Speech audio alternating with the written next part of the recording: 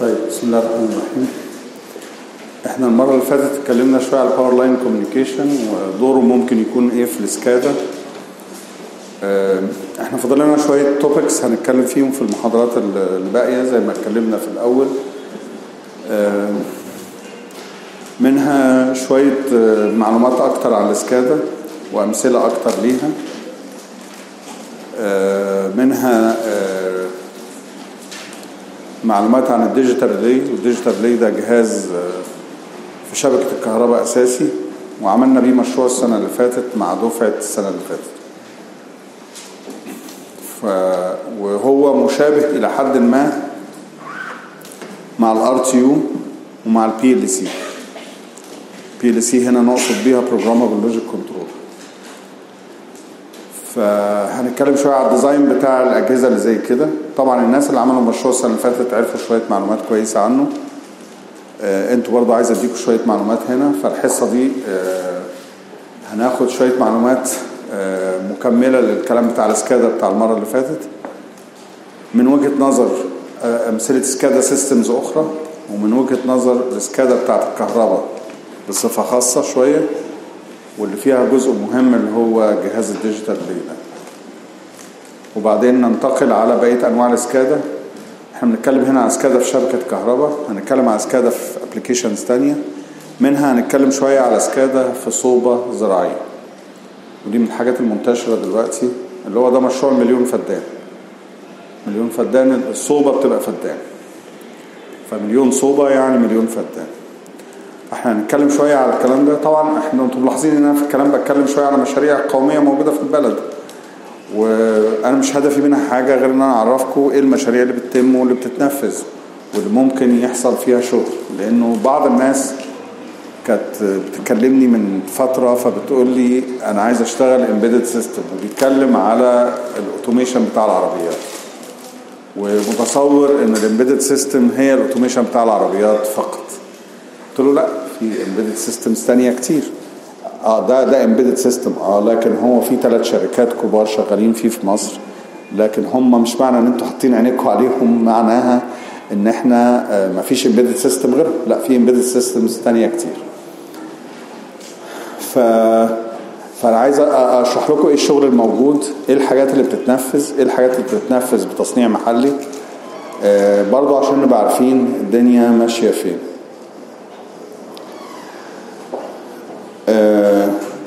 هنتكلم آه بعد كده على ال IoT وعلى ال PCB يعني في موضوعين لسه فاضلين عايزين نفتحهم.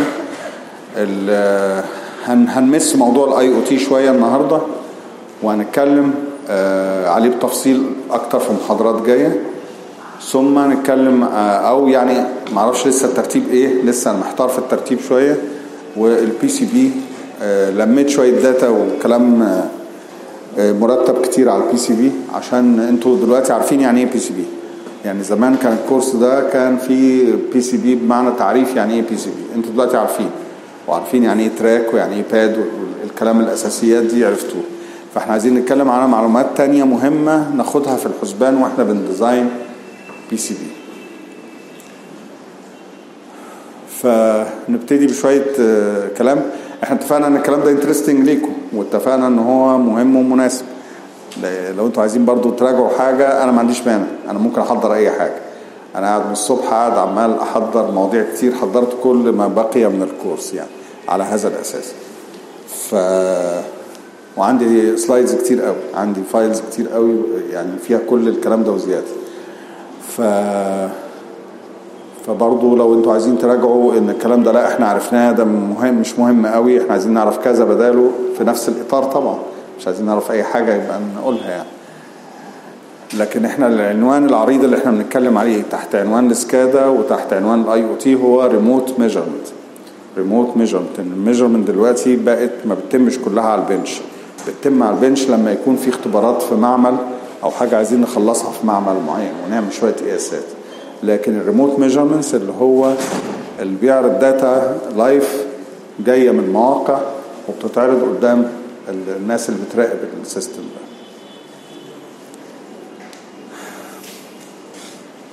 طيب هنبتدي بتعريف ال digital protection relay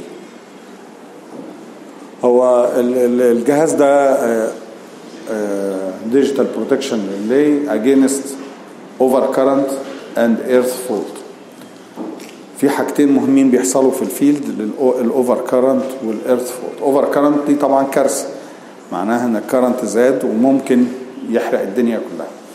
ال digital relay ده بيركب فين؟ لو نرجع للرسمة اللي فاتت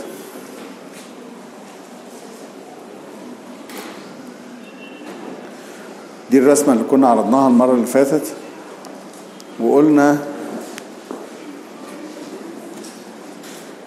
إن ده آه، الأخضر الأخضر ده هو ممكن يكون ال circuit breaker. circuit breaker في سكة ال feeder يعني يفصل ال feeder أو ما يفصلوش. circuit breaker بيستحمل تيار كبير يعني ده على كابل آه، 11 كيلو فولت. وده ال digital relay اللي هو ال block الأحمر اللي هو connected لل CT اللي بي- بياخد بيقيس قياس ال current اللي ماشي ويعكسه على ال digital relay وال digital relay بيتحكم في ال circuit breaker ده يفصله ولا ما يفصلوش. موضوع طبعا ما هوش بسيط إنك تفصل آه، circuit breaker شايل 11 كيلو فولت ده كلام مش بسيط. آه، ما يتعملش إلا لما نكون متأكدين إن هو المفروض يتعمل لأنك هتقطع التيار عن مدينة كاملة أو حي كامل في القاهرة. ال ال إحنا اتكلمنا المرة اللي فاتت إن ده بنسميها distribution point أو distributor اللي هو موزع. موزع يعني إيه؟ بيخش له كابلات عددها قليل شايله 11 كيلو فولت ويطلع منها أعداد أكبر. عادة ده بيكون اتنين وده بيكون اتنين زي ما قلنا المرة اللي فاتت عشان يبقى فيه احتياطي. واحد واحتياطي ليه الناحية دي واحد واحتياطي ليه الناحية دي. وقلنا إن الناحية دي مفصولة عن الناحية دي ب circuit breaker أو cross bar switch كبير بحيث إن هو كل ناحية قايمة بأحمالها لكن ساعة الضرورة دي وقعت ممكن أخد أحمال من الناحية التانية. واقفل ده. فكل الدنيا ماشية redundant بهذا الشكل. ال- الكابلات اللي داخلة هنا بتبقى أربعة بيطلع حوالي عشرين. عشرين كابل feeder رايحين يغذوا بقى مناطق مختلفة. في السكة وهي ماشية بتغذي ال- المحولات غرف المحولات دي. فغرف المحولات دي ممكن تكون مثلا خمسة في الاتجاه ده وخمسة في الاتجاه التاني. و- و series مع بعض واصلين series مع بعض. فالكابل ال feeder الواحد ده بيغذي خمس محولات وكل محول بيغذي عدد كبير من العدادات. فدي دي منظر شبكة الكهرباء ال- الموجود. فال digital relay اللي إحنا بنقول هياخد قرار ويفصل التيار ده؟ ده جهاز إلكتروني صرف. ده جهاز إلكتروني صرف بيركب في شبكة الكهرباء. هو تاني جهاز مهم يركب في شبكة الكهرباء. أول جهاز هو العداد طبعا. يعني العداد هو أول جهاز إلكتروني موجود في الدنيا كلها بعدد البيوت الموجودة وباشكال مختلفة وفي المصانع وفي كل حتة. يليه ال digital relay نقدر نقول roughly إن إن كل digital relay بيغذي 1000 عداد. roughly. يعني لو مصر فيها 35 مليون عداد يبقى فيها 35 ألف digital relay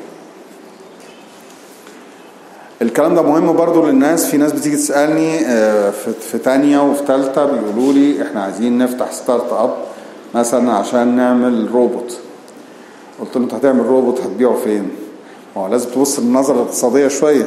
الروبوت مشروع جميل بتتعلم فيه شوية علوم ظريفة لكن أنا شايفه في الوقت الحالي هو مشروع تعليمي أكتر منه أي حاجة تانية. ما هواش مشروع تجاري.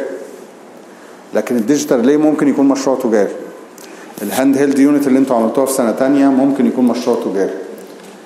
ال- ال- المشاريع دي كمشاريع تجارية مشاريع تجارية مناسبة جدا. ليه؟ لأنها مش بال mass production الرهيب. mass production الرهيب اللي هو بيتحط في كل بيت اللي هو نقدر نسميها consumer electronics زي التلفزيون وزي التكييف وزي العداد والمروحة وما إلى ذلك. كل دول تعتبر consumer electronics حاجات موجودة في كل بيت. فدي بتنتج بالملايين بل بالمليارات. ودولة زي الصين عندها مليار بني آدم وشوية فلما تعمل أي جهاز هناك عندها سوق ضخم جدا تبيع فيه. فلما تيجي تنافسها هتلاقي مشكلة كبيرة إن هو أنتج ملايين فبيشتري ال components اللي أنت بتشتريها. آه، بدولار أو 2 دولار هو بيشتريها بسنتات لأنه بيشتري منها كميات كبيرة قوي فال mass production بيرخص السعر جامد فعشان تنافس المنافسة هنا صعبة قوي آه، صعب قوي إن أنت توصل إنك تقدر تنافس منتج آه، بهذا الشكل آه، بسعر وت- وتنافسه في السعر. يا إما لازم تقدم know how جديد أو فكرة جديدة تقدر تكسب بيها الكلام الموجود ده وده برضه صعب لأن المنتجات دي قتلت بحثا وإن أنت عشان توصل فيها لحاجة زي كده عملية صعبة. إحنا هنتكلم شوية عن ال smart meter وهنتكلم وانتوا بعضكم عارف ان أنا شغال في الموضوع ده. وقدرنا ننافس بننافس الصين. تنافس الصين يبقى لازم عندك فكرة جديدة. هو لسه ما جابهاش أو عشان يجيبها هيتحمل فرق سعر زيادة. فلكن ال- السمارت ميتر لسه ما هوش منتج شائع قوي زي العداد العادي. العداد العادي خلاص سعره محفوظ والدنيا محفوظة وم- وما- يعني صعب قوي إنك تنافس فيه. لكن حاجة لسه طالعة جديد تكنولوجيا لسه طالعة جديدة وانت هتنافس هتقدم فيها فكرة جديدة ممكن. فلما تيجي تنقي سلعة عشان تعمل فيها business آه، بدائي startup زي ما أنتم بتقولوا وعملت شركة صغيرة وتخرجت أو البعض بيحاول يشتغل وهو في أجازة سنة ثالثة أنتوا أنتوا دلوقتي تقدروا تشتغلوا. يعني بالمعلومات اللي أنا اللي أنا عارفها إن أنتوا خدتوها وعرفتوها لحد دلوقتي وعملتوا بيها مشاريع أنا شايف إن أنتوا تقدروا تشتغلوا. مشروع سنة ثالثه السنة اللي فاتت عمل جهاز زي ده ال digital relay وال digital relay ده آه، جهاز فيه ثلاث بوردات على الأقل. والثلاث بوردات linked مع بعض زي ما هنتكلم دلوقتي. إزاي؟ يعني تقدر تعمل حاجات كتير قوي. عملته hand held في سنة وعملته digital relay في سنة. يبقى إيه تقدر تعمل منتجات كتير وأنت في- أجازة سنة ثالثه بس طبعا لا أنصح إن حد يشتغل وينسى سنة رابعة. لأن طبعا في ناس عملت كده. في ناس كتير عملت كده وده مش recommended على الإطلاق إن ال- الشغل يجذبه وينسى يكمل السنة اللي فاضلة وما يفضل طول عمره فني. يعني طالب سنة ثالثه ناجح في سنة ثالثه زي ناجح ثانوية عامة ما تفرقش كتير. المهم الأجهزة دي اللي هي ال hand held unit وال digital relay أجهزة بالآلاف وليست بالملايين. يعني في نطاق مصر كله هي بالآلاف. فبالآلاف ما فيهاش ال mass production الرهيب قوي. فيبقى الناس ما بتحطش فيها margin قليل. يعني العداد ال basic أو العداد ال prepaid اللي هو منتشر دلوقتي ممكن يكون ال margin فيه بالجنيهات. ممكن يكون شركة بتكسب في العداد الواحد 5 جنيه أو 10 جنيه. فبالتالي ما فيش margin فيه إن أنت تقدر تكسب وتنافس الناس دي. ال ال ال لكن لما تتكلم على digital relay بالآلاف أو handheld بالآلاف برضو أو بالمئات ممكن تنافس. لأن هتلاقي ال design margin المحطوط ممكن يكون عشرات الدولارات. لو بنتكلم بالدولار ممكن يكون ال margin أو الربح اللي هو فرق التكلفة المباشرة من ثمن البيع. يعني الجهاز بيتكلف مثلا 2000 جنيه ويتباع ب 4000 جنيه. يبقى في 2000 جنيه فرق. ال 2000 جنيه فرق ده اللي بنسميه ال profit margin يبقى بالتالي ده ممكن يقبل إنك تنافس. إن أنت ما تحطش لنفسك margin 2000 جنيه زي ABB وزي سيمنز وتحط margin 500 جنيه أو 200 جنيه فتقدر تنافس وتكسب. فال ال ال لكن ما تفكرش في حاجة غير كده. يعني ما تفكرش في حاجة دي ممكن تفكر فيها بعد كام سنة. ما تشتغل خمس عشر سنين مثلا في ال في ال في ال field وتعرف الدنيا فيها إيه. لكن وأنت جاي تبتدي ك startup ما تفكرش في حاجة بعيده عن الكلام ده. عشان كده اديتكم الامثله دي. أو تفكر في مكنة سلم أو كلام من هذا النوع. طبعا الكلام ده صعب المنافسة فيه برضو قوي.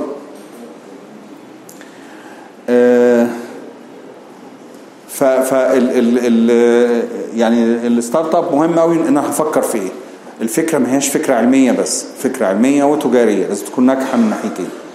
متهيألي أنتوا عرفتوا عرفتوا إزاي تشتري ال components وإزاي تطبع ال PCB وتكلفتها كام وتحول الفلوس إزاي. أنتوا عرفتوا جانب كتير من الموضوع. فناقص الجانب اللي أنا بتكلم عليه ده اللي هو برضو عشان لما نيجي نختار أنا ما عنديش مانع أساعد أي حد طبعا. وأنا ساعدت ناس كتير قبل كده فعلا في هذا الاتجاه. آه، لكن آه، أرجو بس التروي في اختيار المنتج وإنفاق الفلوس بتاعت والدك ولا بتاعت عمامك ولا أي حد من الأسرة ما ما تبعزقهاش بسهولة يعني. لأن هي هتصرف كتير هترجع بعد كده آه، تقول أخد شقة شيك في المهندسين ولا في الدقي ولا في المعادي وتعمل فيها شركة وبتاع تصرف فلوس ال- العيلة كلها على الشركة. طبعا في ناس كتير طلعت آه، آه، والدها كان صاحب شركة كبيرة في application تاني ففتح له فرع في الايه في ال application بتاعه. خير وبركة دي نموذج لل startup سهل مش محتاج مشاكل يعني. بس إيه يعني خلي بالك إن أنت لما تشيل مسؤولية فلوس لازم تفكر فيها كويس عشان ما تخسرش الناس اللي دفعت لك الفلوس دي. ايا كانت بقى جايبها بتمويل جايبها من الأسرة جايبها منين يعني. لكن أنا بشجع الاتجاه ده. أنا بشجع الاتجاه ده إن الناس تطلع تعمل أبحاث وتعمل شركات وتعمل ديزاينز محلية. بس هي حبذا لو يكون معاك واحد أكبر شوية. يعني ممكن يكون ثلاثة أربعة من من الدفعة معاهم واحد أقدم شوية. أنا شفت ناس فعلا عملت كده. دي كانت أنجح الأمثلة يعني. طيب المهم آه، إحنا دلوقتي عايزين نتكلم على جهاز ال digital relay ونتكلم على جهاز ال RTU أو اللي بيناظره شوية ال PLC الثلاث أجهزة دي فيها حاجات مشتركة. وأغلب ال- ال- الأجهزة اللي زي كده فيها نفس الكلام.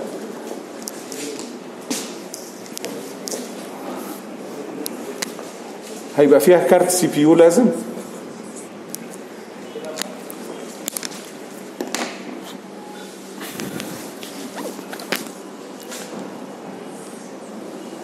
وكروت I/O.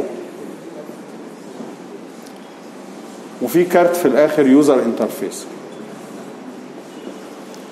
دول غالبا بيبقوا mounted على rack ال rack ده فيه backplane backplane كارت عمودي عليهم. بيركبوا فيه دول في slots ال I/O ده متكرر كذا مرة حسب عدد ال input output اللي في ال system. وال CPU ده interfaced مع كروت ال I/O دي. وال user interface في الآخر بيبقى interface برضه مع ال CPU ويتكلم مع الأجهزة اللي أنا بتكلم عليها كلها الثلاث أجهزة دول اللي هم ار تي يو بي ال سي digital relay الثلاث أجهزة دول مشابهين لبعض في ال structure جدا. ال structure مش هيخرج عن المنظر ده. فإحنا عايزين نتكلم شوية على ال structure بتاع الدوائر دي وإزاي إن أنا أعمل جهاز بهذا الشكل. إزاي أصمم جهاز في multi cards بهذا الشكل. مش multi cards عشان هو آه إحنا صعب نعمله في كارت واحد. لا ممكن لو في ال inputs دي عددها قليل وال user interface بسيط ممكن اضم اضم دول كلهم في بوردة واحدة كبيرة بس ال design ده مش modular ما تقدرش تكبر بيه. يعني عشان تكبر وتبتدي من أربعة inputs وتوصل بعض ال- ال- الأجهزة بتوصل ل 256 input أو output فبالتالي عشان تكبر بعدد ال inputs بهذا الشكل الحل الوحيد إنك تكون modular بالشكل ده. يعني ال structure منظم وتحط كارت كل كارت فيه 16 input وعايز تضيف كروت تانية تحط inputs تانية ال design بتاع الكلام ده فيه فيه شوية كلام عايزين نقوله بس الأول أنا عايز أرجع للايه للكام slide بتوع ال digital relay دول نعرف ناخد فكرة عنه أكتر. يعني دي شوية مواصفات سريعة ليه ده ده شكل الجهاز اللي إحنا أنتجناه فعلا. وبعناه وركب منه 800 جهاز في شبكة الكهرباء. وبنعمل واحد تاني أحدث منه دلوقتي. آه ال ال دي دي ال- الخواص بتاعته. طبعا الخاص اللي يفهمها أكتر بتاع ال power لكن ال inrush blocking معناها هنا في نقطة مهمة شوية. في في موزعات كانت في منطقة في الوادي الجديد. الموزع ده بيفصل عند current معين. ال current لما يزيد عن حمل معين.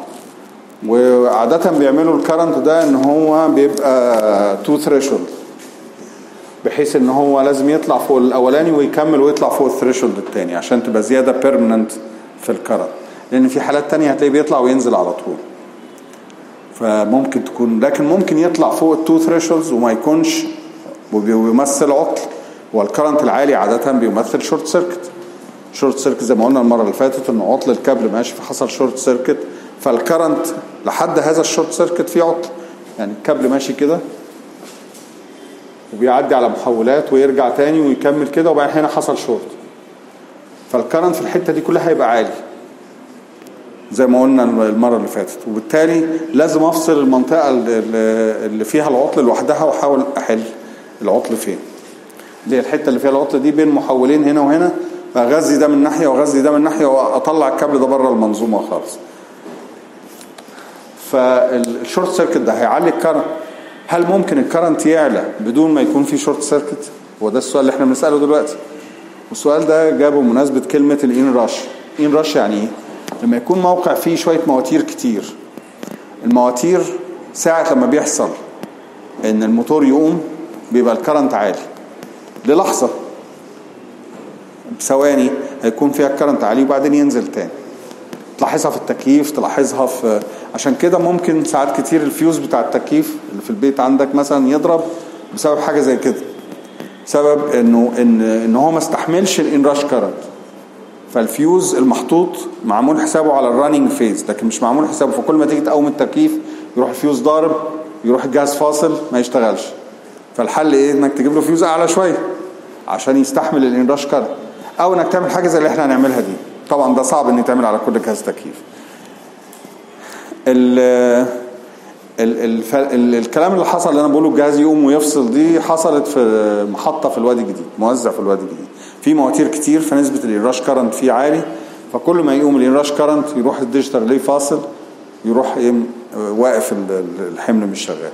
فقالوا لنا على المشكلة دي فبعت ناس تشوفها. ف فعملنا حاجة اللي هي نوع من ال harmonic analysis واكتشفنا إن ال inrush current ده بيبقى له harmonic pattern غير ال harmonic pattern بتاع ال current العادي.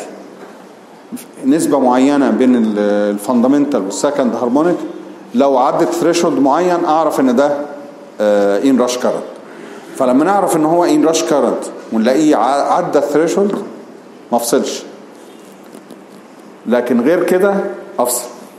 فأنت حددت criteria تفصل بيها على أساسها عشان كده ممكن يكون المعلومات مهمة والكلام النظري اللي أنتوا بتاخدوه مهم. إن أنت تعرف الكلام ده وتعرف إمتى تعمل كده وإمتى تعمل كده وإمتى تاخد قرار في المنظومة اللي أنت عاملها. آه فانا عايز أوريكم قد إيه الموضوع مش بسيط. يعني موضوع إن إن جهاز زي ده ياخد قرار إنه يفصل ما هوش مجرد إن ال current عدى ال thresh وبالتالي عشان نعمل harmonic analysis لازم نعمل FFT الكلام أنتوا خدتوه السنة اللي فاتت.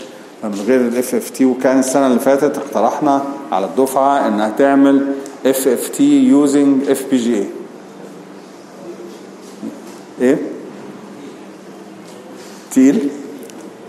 مش سهل. مش سهل. ما قسمناه على الترمين. وعملنا ال FPGA في الترم الثاني بس. لكن ال FPGA طبعا على ال FFT وطبعا ال FPGA نقصد إنها تنضم لدوائر ال digital اللي في الآخر. ويبقى دوائر واحدة في الآخر. أو ممكن تعملها software بس طبعا هيبقى أبطأ شوية. ال FPGA ميزته إنه هيبقى اسرع فدي أحد الحاجات. يعني بتبين قد إيه إن ال analysis ما هوش سهل. في كلام تاني تفاصيل تانية كتير. ما فيش مقام ليها دلوقتي يعني. ف آه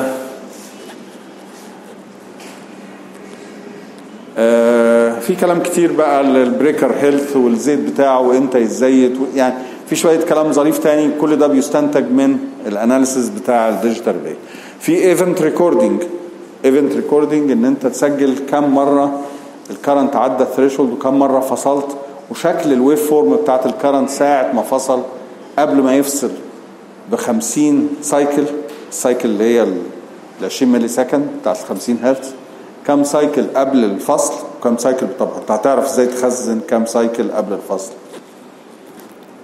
سؤال. سهلة يعني الناس اللي ابتدت تفهم يعني إيه software و hardware والكلام ده الكلام مش صعب قوي. لو أنا محتاج اخزن ال waveform بالكامل بتاعت 50 cycle قبل الفصل. آه يبقى أنا يبقى أنا دايما هخزن 50 cycle وكل ما يخلص ال 50 cycle أرجع أكتب عليهم تاني. فيبقى عندي دايما آخر 50 cycle. صح؟ يعني عمال أخزن طول ما أنا ماشي. عشان يبقى عندي آخر 50 cycle فهو أفضل أخزن. buffer طوله 50 cycle. كل cycle مثلا فيها 16 sample ولا فيها كام؟ يبقى دي 800 sample. 800 sample يبقى أنت مخزنهم على طول. كل ما يخلصوا تبتدي تكتب من أول تاني. بحيث يبقى دايما عندك آخر 800 sample اللي هي آخر 50 cycle. فلما يحصل القرار بتاع الفصل فترجع تاخد ال buffer ده وتكمل عليه. وتخزن بقى مدة بعدها عشان تاخد مدة قبلها ومدة بعدها وترسم ال waveform على الكمبيوتر اللي هيتصل بالجهاز ده وتبين ال cycles دي شكلها إيه. الكلام ده طبعا مهم جدا للناس بتوع power إن هو يشوف ال analysis بتاع ال waveform شكلها إيه قبل وبعد الفصل.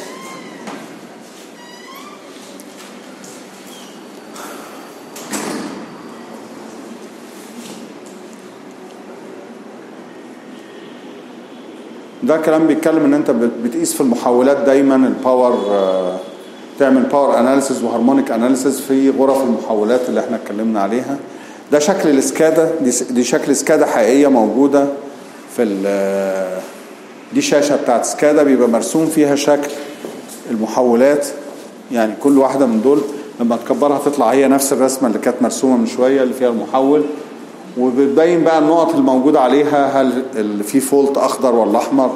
وتبين ال LEDs والمعلومات كلها على على الخريطة دي اللي هي خريطة أشبه بخريطة شبكة الكهرباء.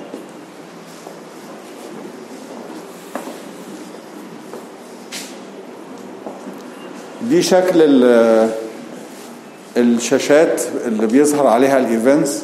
الشاشه بتاعت الجهاز نفسه بيظهر عليها ال events أو شاشة الكمبيوتر لما توصلها. بالجهاز serial وتاخد منه information أو waveforms بهذا الشكل دي ال waveforms بتاعت 3 phase في الحالات العادية وفي الحالات ال faults طبعا بيبان بقى فيها ال- ال current العالي والكلام.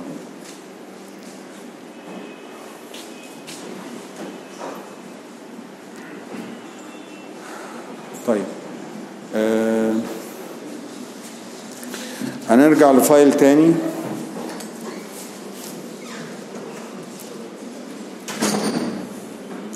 النهارده هتحرك معاكم شوية بين ال files عشان أجيب معلومة من هنا ومعلومة من هنا.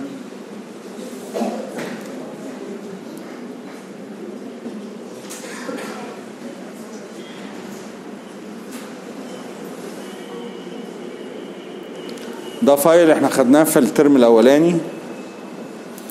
أنا قاصد بس هجيب الرسمة دي. أفكركم بالرسمه دي كانت إيه؟ دي كانت فيها آه، decoder تفصيلي شوية لل interface مع آه، microprocessor من ال 8086 family أو من ال family بتاعت ال PC فقلنا ال- الأفضل إن أنت بتقسم ال address lines اللي عندك اللي هم كانوا 10 address lines فكنا بنقسمهم نحط منهم خمسة على ال decoder الأولاني وده decoder رئيسي بيختار عدد من ال decoders بعد كده. يعني خارج منه 8 enables ده decoder 3 ل 8 فخارج منه 8 enables كل واحد بي enable decoder تاني بهذا الشكل. وال decoder التاني في أنواع من ال decoders بتبقى متقسمة آه، ده decoder 4 ل 16 كل واحد منهم بس واحد شغال مع ال input واحد شغال مع ال out ده الكلام اللي إحنا كنا وصلنا له المره اللي فاتت. إيه لازمة الكلام ده دلوقتي؟ عشان ال structure بتاع الكروت دي. إيه النقطة الفاصلة اللي بين ال CPU وبين كروت ال I/O. يعني ده interface أهو ده address decoder هحط إيه منه وفي أنهي كارت. طبعا التفكير الأولاني إنك ممكن تحط ال decoder كله في كارت ال CPU. بكل ال decoders بتاعته المرحلة الأولى اللي هي على الشمال والمرحلة الثانية اللي هي اللي على اليمين تحط كله في ال CPU. وال CPU يطلع منه ال enable بتاع ال ports كلها سواء input أو output لكن ده طبعا مش مناسب. آه، فالحل إيه؟ الحل إن أنا أحط ال decoder الرئيسي بس هو اللي على ال CPU اللي هو اللي على الشمال اللي هو 3 ل 8 وال decoders الثانية كل decoder زي ده في module لل input 4 ل 16 في module لل output 4 ل 16 أخدهم على الكروت ال I/O. يبقى كل كارت I/O عليه ال decoder الثاني ده. وال decoder الثاني بتاع أول كارت واخد من ال output الأولاني بتاع ال decoder الأولاني. وال decoder الثاني اللي على الكارت الثاني واخد ال selection بتاعه من ال output الثاني من ال decoder الأولاني. يعني ال output الأولاني من ال decoder الأولاني بيشاور على address معين اللي هو 300 hex ال output الثاني من ال decoder ده 320 هكس ف 300 هكس ده رايح لل card I/O الأولاني. اللي فيه ال addresses من 300 ل 320 واللي بعديه من 320 ل 340 وهكذا. يبقى كل card فيه عليه مجموعة من ال addresses بحدد ال range من ال addresses منها على ال- ال decoder الأولاني اللي هو موجود على ال card ال CPU الرئيسي. فالكلام ده ده structure طريقة structure مناسبة. وبنسمي ال output بتاع ال decoder اللي هو ال 300 hexa ده 300 320 بنسميه card select يعني هنسميه في الحالة دي. يبقى أنا بطلع من هنا بطلع من هنا مجموعة card selects واحد رايح هنا واحد رايح هنا وهكذا.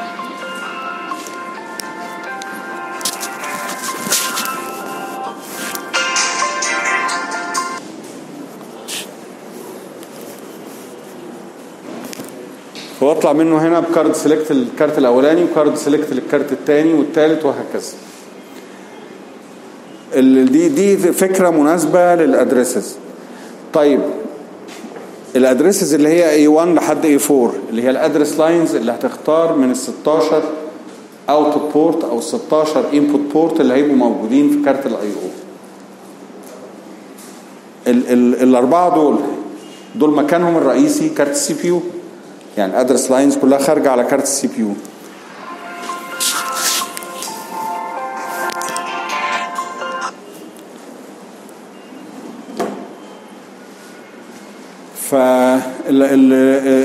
فال address lines دي هل مشيها على ال backplane أنتوا متخيلين شكل ال backplane شكل ال backplane بيبقى card عامل كده.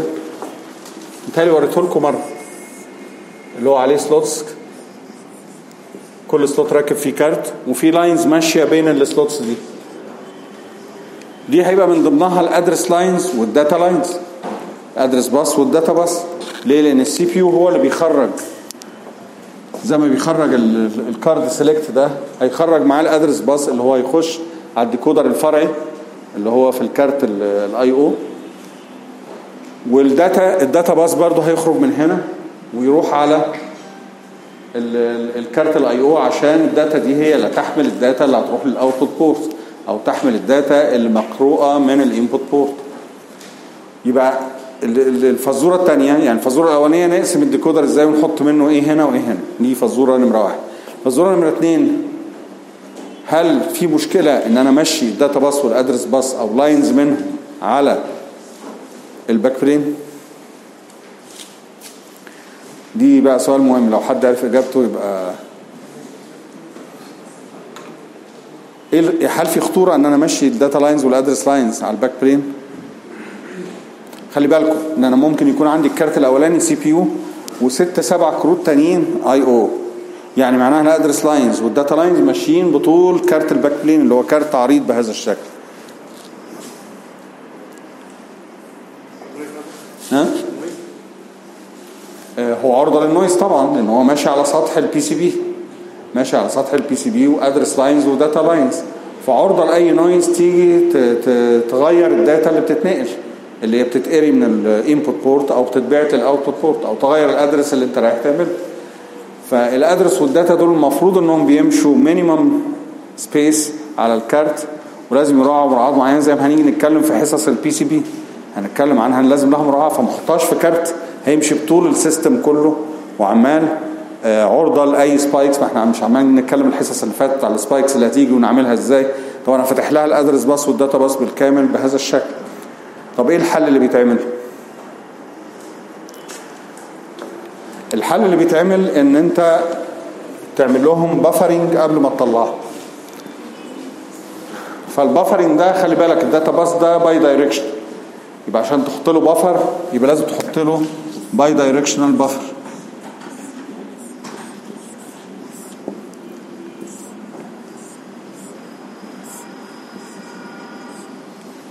المنظر ده بيسمى bidirectional buffer ال element دي اسمها إيه؟ دي tri-state buffer أكيد شفتوا المنظر ده قبل كده. وإحنا اتكلمنا عليه في ال term الأولاني. ف tri-state buffer في الاتجاه ده و tri-state buffer في الاتجاه ده و parallel مع بعض. و enable الاتجاه ده لما تكون في حالة read و enable الاتجاه ده لما تكون في حالة write يبقى استخدم ال I/O read وال I/O write هستخدمهم ك enable للاتجاهين.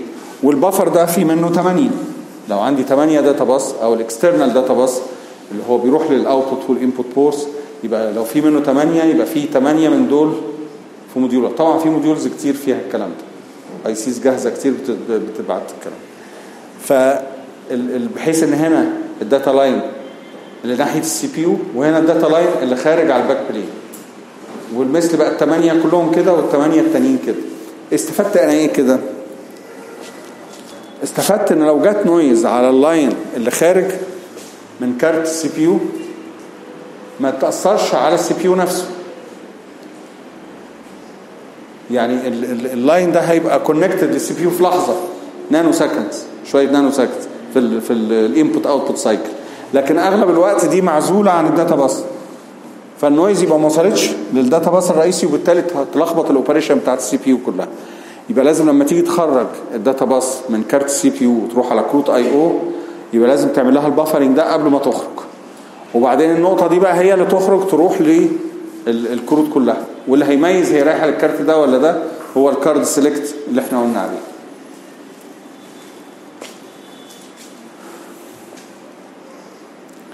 ماشي؟ هو ال buffering ده يعني مفيد في إيه؟ هو buffering المقصود بيها العزل إنك بتعزلي ال- ال- ال lines دي اللي خارجة إنها لو تلقت أي noise تعزليها عن ال CPU. دايما ال systems اللي فيها CPU بيبقى كل ال protection هدفه إنك إزاي تحمي ال CPU إنه يحصل له مشكلة. لأن ال CPU لو حصل له مشكلة معناها الدنيا كلها باظت. لكن لو كارت من كروت ال I/O باظ هتشيليه وتحطي واحد مكانه وال CPU هيفضل زي ما هو والبرنامج هيفضل زي ما هو. طيب ال address bus اعمل فيه إيه؟ ال address bus مختلف عن ال data bus ال data bus دي حاجة بتنقل data في اتجاهين قراية وكت- وكتابة ولازم اعملها enable ولازم يبقى bidirectional data bus ال address bus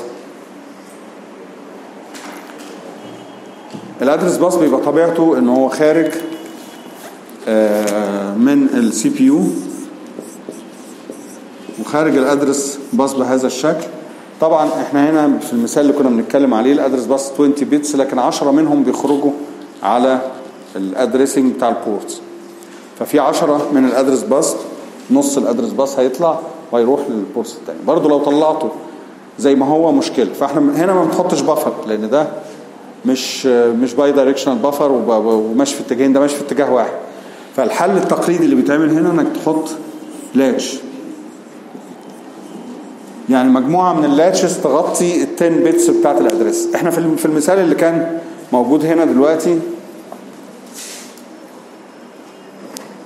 المثال اللي كان موجود هنا كان في أربعة address lines بس اللي خارجين. اللي خارجين من ال CPU رايحين للكروت التانية عشان يختاروا ما بين ال ports الموجودة على نفس الكارت يبقى الأربعة lines اللي خارجين دول محتاجين 4 bit latch يعني 4 bit D flip flop وداخلة هنا وخارجة هنا وال- وال clock بتاعتها enabled بالايه بال output instructions بحيث إنها آخد الأربعة اللي خارجين دول هم اللي امشيهم على ال backplane هم اللي ماشي الأربعة address lines اللي خارجين من ال latches هي اللي ماشية على ال backplane لنفس السبب عشان لو حصل عليه أي حاجة ما تبوظليش. لأن ال address bus ده اللي رايح بين ال memory وبين ال data من ال memory وبين كل حاجة هو اللي بيعمل كل حاجة. فده لازم أحميه بقدر الإمكان. يبقى في في two precautions هنا لما تصمم system بهذا الشكل إنك لازم تراعي إن ال backplane اللي هيربط بين الكروت كلها لازم يكون في address bus و data bus buffered عن ال address bus وال data bus الرئيسي اللي في كارت ال CPU دكتور هو يعني إحنا لما عمل- عملنا ال buffer المفروض ان ال data هتلف كده وهترجع تاني معكوسة برضه مش المفروض ان هو بينقل ال data في الاتجاه ما الاثنين دول مش هيشتغلوا مع بعض. ده بيشتغل في جمل ال input وده بيشتغل في جمل ال output. أو العكس. آه. ف- ف- ففي جملة ال input بيتنقل ال data كده بس. جملة ال output بيتنقل كده بس. فالاثنين عمرهم ما يشتغلوا مع بعض. حطينا latch عشان أنا بنقل ال data في اتجاه واحد وبخزن ال address ساعة خروجه لل- لل output أو ال input instruction وثبته على ال lines دي وال lines دي هي اللي تتحرك على ال backplane. فاللي بيتحرك على ال backplane ما هوش address bus حقيقي ما هوش شايل التغييرات كلها بتاعة ال address bus. خلال ال fetch execute cycle إن هو بينفذ جملة أو بينفذ instruction ورايح جاي مع ال memory لأ أنا باخد بس لحظة جملة ال output أو جملة ال input وآخد منه ال address lines دي وأثبتها على قيمتها.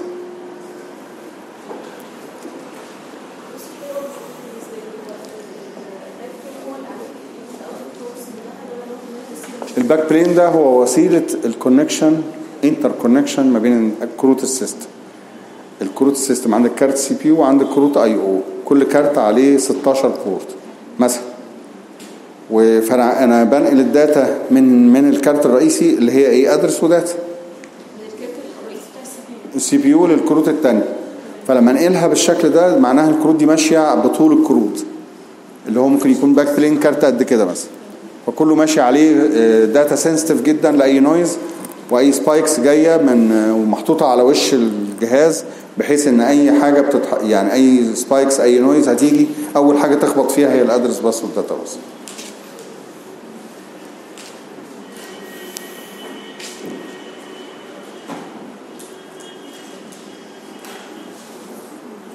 طيب دي نقطة تانية. يبقى إحنا دلوقتي اتكلمنا على شوية precautions أو إزاي إن أنا أفكر خلي بالكم إحنا بنتكلم في الكورس كله إزاي نفكر. أنا مش بجيب مشاكل هي المشاكل الوحيدة الموجودة في الدنيا لكن بنحاول نتعلم إزاي نفكر.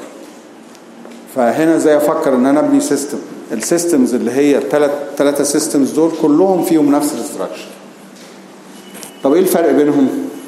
ال digital relay ال I/O فيه هيبقى volt و current. ده جهاز بيعمل protection لجهاز في محطة كهرباء فال signals فيه voltage و current. طبعا كله هيتحول ل voltage في الآخر عشان يخش على analog to digital converter أو digital to analog converter يعني كله هيخش لل processor ك voltage ويخرج ك voltage لكن في ال systems التانية بيبقى فيه temperature في pressure في sensors معينة بتقيس منها الحاجة اللي انت عايز تقيسها وتاخد ال data دي فيها منسوب بتاع الترعة فيها أي signal بتمثلها عايز تنقلها وتبعتها لل I/O ports فبتبقى signals بهذا الشكل. ايا كانت ال signals فال signals دي كلها لها signal conditioning لها adaptation زي ما قلنا amplifier و filter واحيانا بعض حاجات تانية بعض دوائر تانية فكل ده بيبقى موجود مع ال inputs المناظرة على نفس ال interface card ال digital relay هو جهاز زي ال RTU لكن مخصص لل current وال volt ال RTU هي جهاز بيقرأ أي نوع من ال inputs في مكان بعيد وبينقلها عن بعد. remote terminal unit ال PLC هو جهاز programmable logic controller ممكن يركب طبعا زي ما راكب عندكم في المعمل تحت إن أنتوا في في حاجة local على الترابيزة على ال bench الموجود ده بتاخد data وتطلعها من ال bench رايح جاي. فمفيش data عن بعد ولا حاجة لكن ال PLC ينفع يتحط عن بعد. طب إيه الفرق؟ يعني ال PLC وال RT قد يبدو متشابهين شوية. ال digital relay مختلف. وله طبيعة مختلفة. لكن الثلاثه فيهم communication وفيهم control يعني في في two tasks مهمين بيهموا بيشتغلوا في أي unit من دول. إن في communication وفي control أنت حاطط remote unit بعيدة. فال remote unit دي لازم عشان تتصل بال main unit لازم يكون في communication وممكن يكون فيها control إنها تقوم ب control task زي إنها تقفل بوابة أو تفتح بوابة عند الترع مثلا. ففي control task بتتم. لو انت بتفكر في control يبقى ال PLC انسب لأن هو programmable logic controller فهو في أنواع ال control tasks الموجوده فيها proportion plus integral PID controller فيها on off controller فيها كل أنواع ال controller PLC ال RTU ما فيهوش. لكن ال PLC في برضه بعض ال modules بتاعت ال communication لكن ال RTU mainly هو communication device ففي هتلاقي فيه modems كتير فيها أنواع من ال communication مختلفة wireless wired وكل حاجة. فيبقى أنا لو لو الهدف من ال unit اللي أنا حاططها دي communication يبقى ال RT هو الانسب لو الهدف من ال unit اللي أنا حاططها control يبقى ال PLC هو الانسب لكن الاثنين يصلحوا لأن في merging ما بين ال features بتاعتهم أغلب الوقت. لكن الثلاثة بيتكونوا من devices بهذا الشكل. ممكن يزيد عليهم كارت آه اتصالات أو communication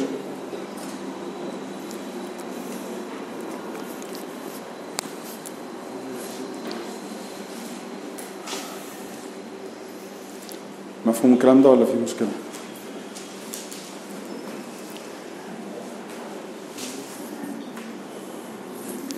طيب هنا عند النقطة دي بفضل إن أنا أنقل لفايل تاني.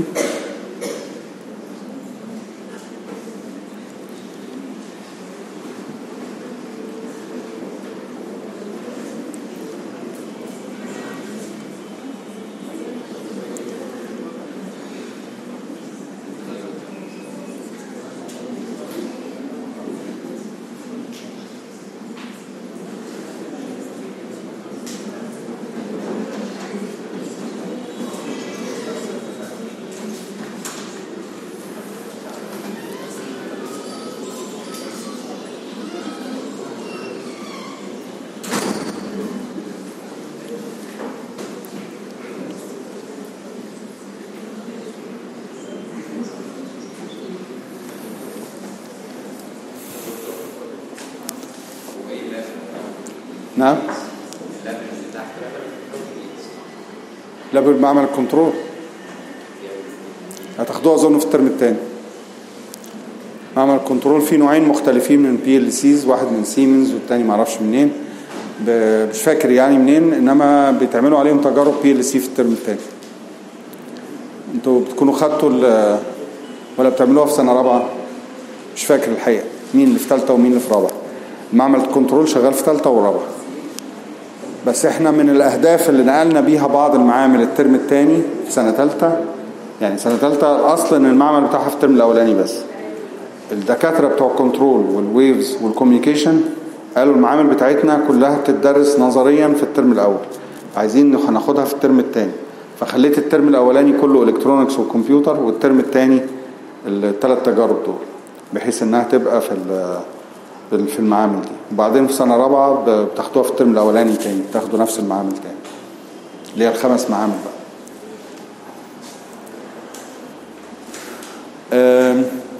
هنا هنتكلم عن هنبتدي نخش شوية في ال internet of things بس أنا اخترتها في ال... لأن أنا حاسس إن الحصة دي ما كانتش هتكفي المع...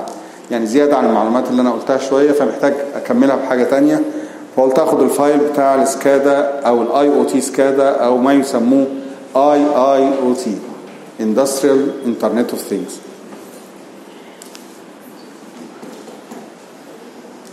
فهنتكلم في النص ساعة اللي باقية دي على ال industrial internet of things فهناخد فيه file يعني من ال slides اللي عندي فيه الكلام ده. ده أول سنة الحقيقة أدخل ال file ده معانا يعني.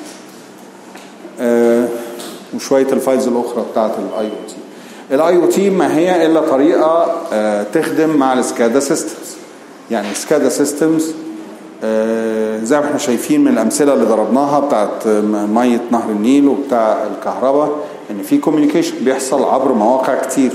وال communication ده ممكن يتم بأجهزة مختلفة. من ضمن الأجهزة دي طرق ال communication إنها تكون internet of things أو based على الكروت المخصصة لل internet of things إحنا في حصة تانية هنحاول نتكلم فيها عن أنواع الكروت دي وأمثلتها والفروق بينها وتختار دي إمتى وتختار دي إمتى. لكن النهارده هنتكلم شوية آه، بمعنى أوسع شوية إيه أمثلة ال industrial IoT أو ال industrial internet of things فهي داخلة mainly التطبيق الرئيسي بتاعها هو ال SCADA ف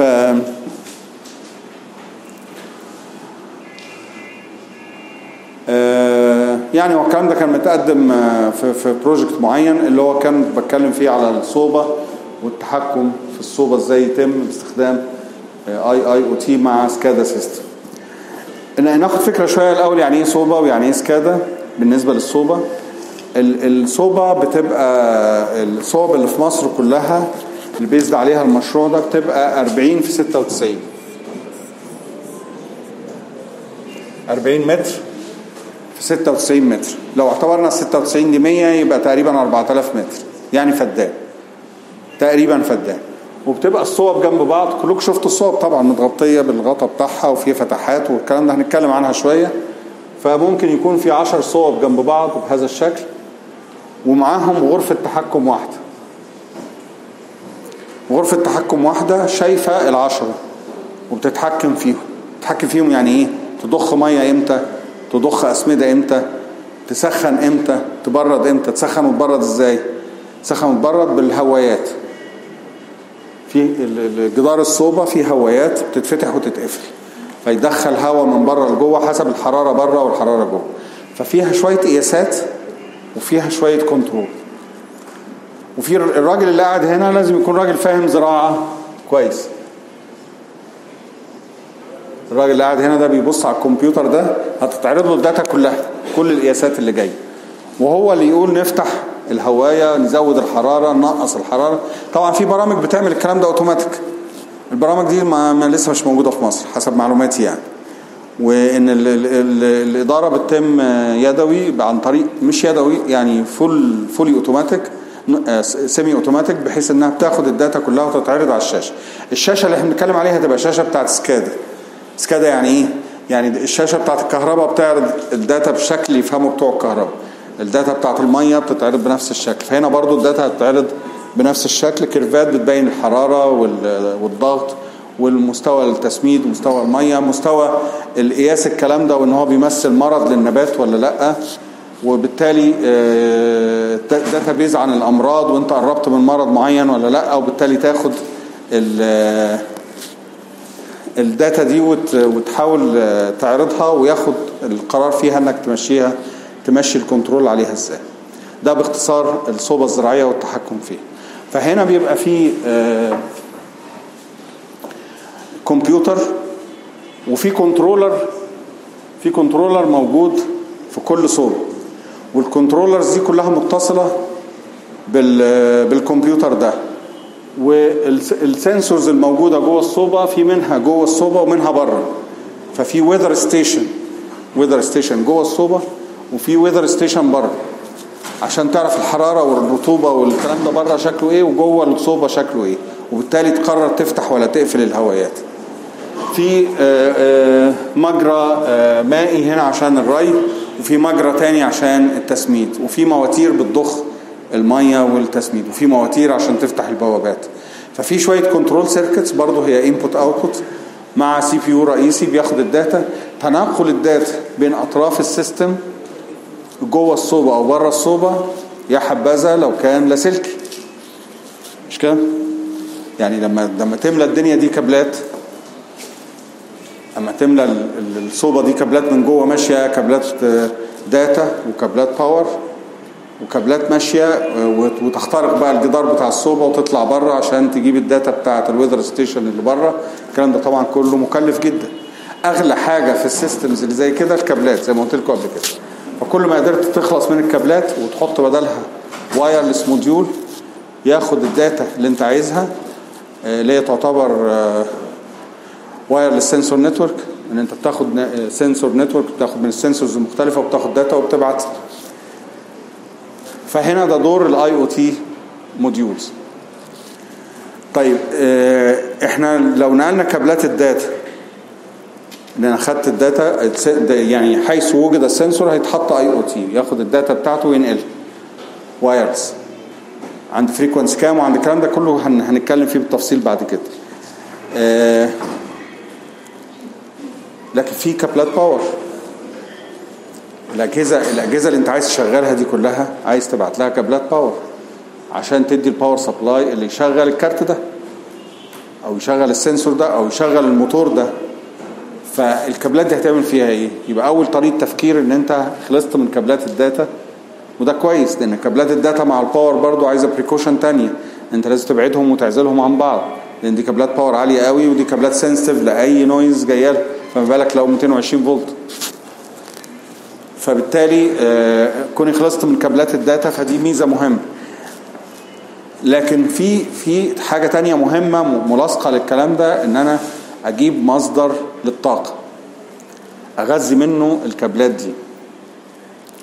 فهم موضوعين متلاصقين مع بعض. موضوع ال IoT وموضوع ال energy harvesting اللي هو يعتبر أحد مواضيع ال nanoelectronics ال energy harvesting المقصود إنك إزاي من الجو تقدر تاخد ال energy اللي أنت عايزها عشان تشغل بيها ال power اللازمة لل device المحطوط في ال field ده.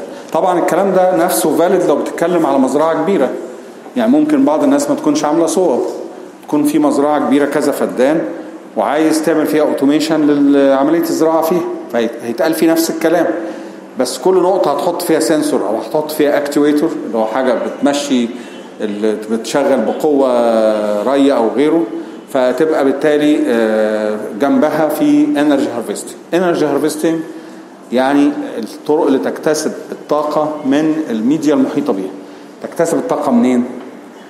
تكتسب من ال signals بتاعت الواي فاي تكتسب تكتسبها من ال signals بتاعت ال AM وال FM بتاعت الراديو آه، تكتسبها من آه، من الحرارة درجة الحرارة منها الحرارة بتاعت الزرع نفسه أو الحرارة بتاعت الجو أو الحرارة بتاعت ال card اللي أنت ماشي فيه التيار ده.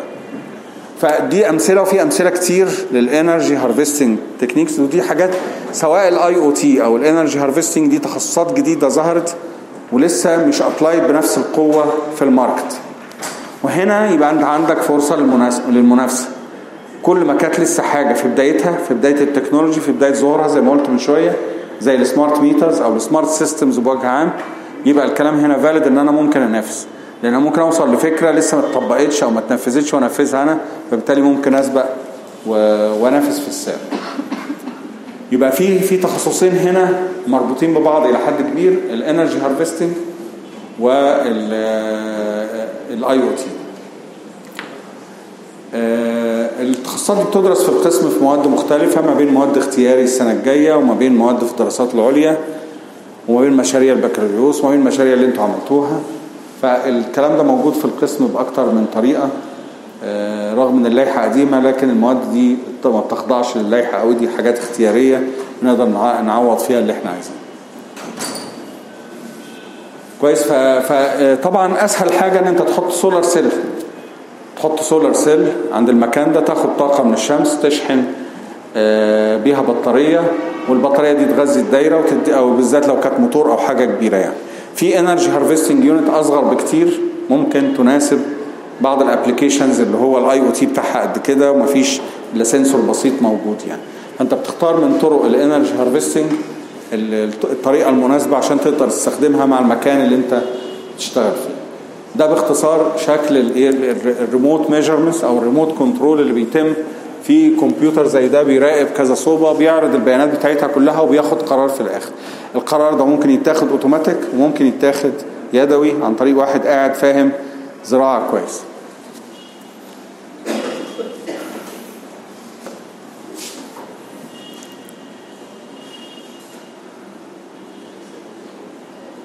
ده يعني الوزارات المعنية بالموضوع واللي آه، لها شغل في هذا الموضوع واللي لينا كلها احتكاك بيها يعني. دي بيتكلم على الفيجن بتاعت 2030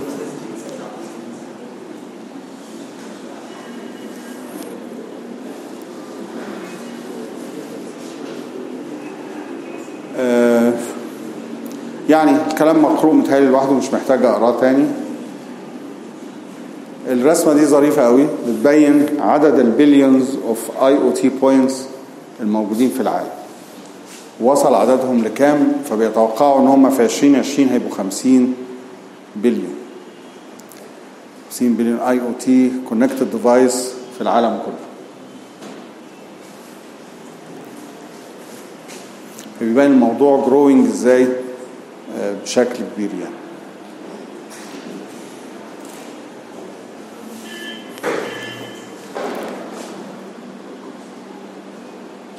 آه، هنا بيتكلم على applications مختلفة home أو consumer devices أو home automation transport health buildings smart cities أو industry فال applications بيتكلم عليها وبيوزع عليها عدد ال- nodes المختلفة.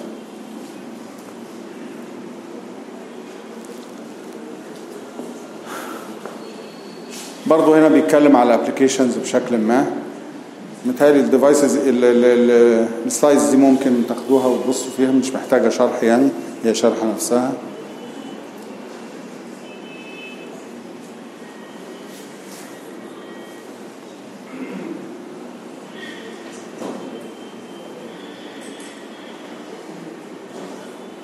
ده شكل block diagram لل SCADA متهيألي شفنا زيه في المحاضرة اللي فاتت إن هو بيتكلم على إن أنت ممكن يكون عندك wireless sensor network هنا.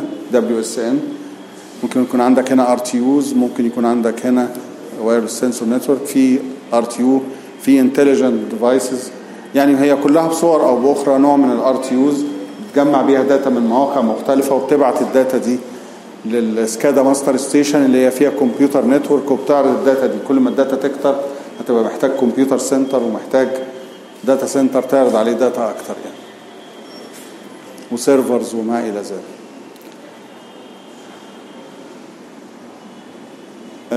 يعني دي رسمة بتبين ال- النقط المهمة اللي لازم تكون متوفرة في ال system اللي انت بتعمل له design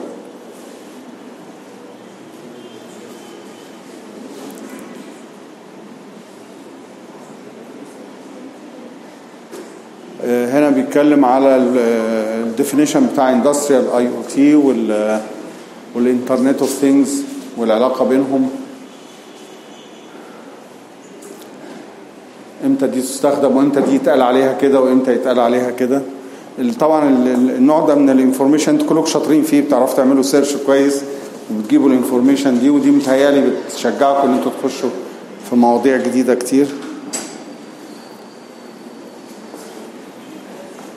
هنا بيقول لك إن الدنيا عبارة عن data و things و connections وال يعني الرسمة اللي على الشمال دي برضو بتقول شوية كلام رسمة فلسفية يعني أكتر منها أي حاجة. هنا بنبين إن ال data دي لما تكون data كتيرة قوي إنها ممكن تتجمع في clouds من النقط المهمة لما نيجي نتكلم على ال clouds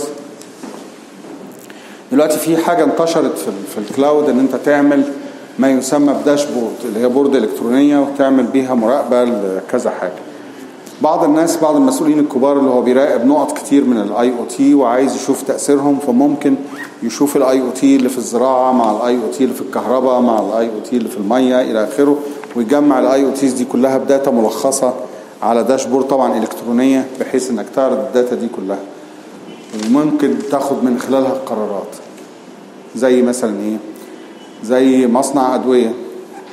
في IoT بينقل ال data اللي فيه ويبين إن الأدوية دي آه، طلعت مغشوشه أو فيها مشكلة. فتقدر ب connection ب IoT تانية من جاية من الكهرباء تفصل الكهرباء عن المصنع ده وأنت قاعد على ال dashboard يعني زي غرفة العمليات بتاعة الحرب كده بس غرفة عمليات لإدارة المرافق الداخلية في في الدولة.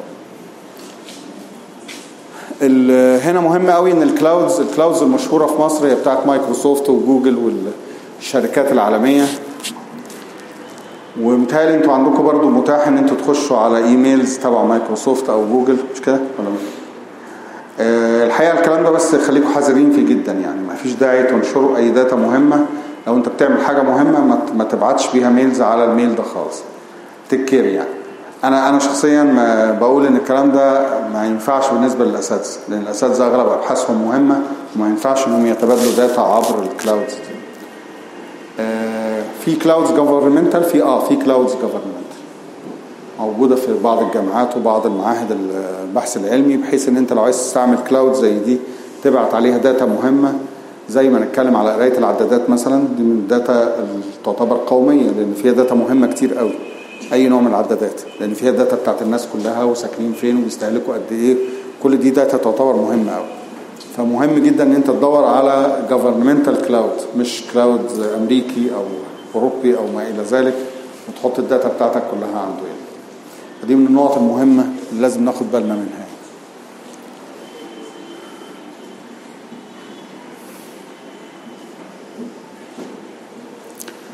يعني إحنا أنا هنا مجمع شوية سلايدز بس. طبعا ال- الكلام بتاعها واضح والمعنى بتاعها واضح.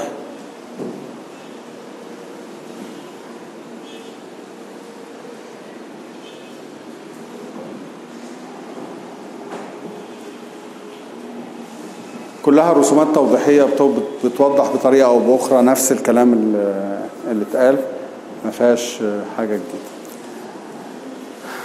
يعني دي كانت شوية معلومات تخص ال SCADA وتخص ال IoT الحصة الجاية قدامنا موضوع من اتنين. موضوع يا إما إحنا كده خلصنا الجزء الأولاني من ال course اللي هو بيتكلم على ال embedded system design وال precautions بتاعته. فاضل لنا في حاجة واحدة.